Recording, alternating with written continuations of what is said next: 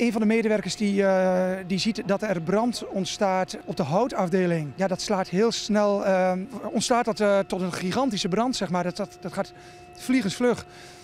wat ik zei, ik werd, in de, ik werd gebeld en ik ben in de auto gestapt en ja, een kwartier later was ik hier en van voor tot achter staat onze 7.500 vierkante meter volledig in lichte laaien. Dus ja, dat is heel heftig gegaan en heel snel gegaan. De brandweer kon niet voorkomen dat het pand volledig in vlammen opging.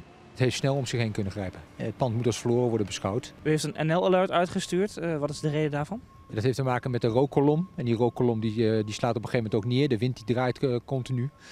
dus de mensen moeten gewaarschuwd worden dat ze de ramen en deuren dicht houden. Klanten en personeelsleden die in het pand waren... konden op tijd in veiligheid worden gebracht. De medewerkers zijn zeer ondaan. We waren met z'n zevenen.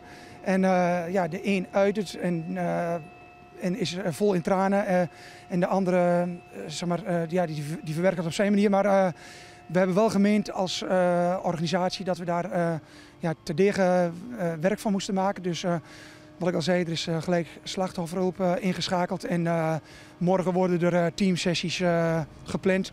Bedrijven in de directe omgeving werden door de hulpdiensten ontruimd. Eh, dat is eh, een autobedrijf wat er direct naast zit. Een klein zorgcentrum erachter. Dat heeft uh, zelf ontruimd, heeft de mensen elders onder, uh, ondergebracht.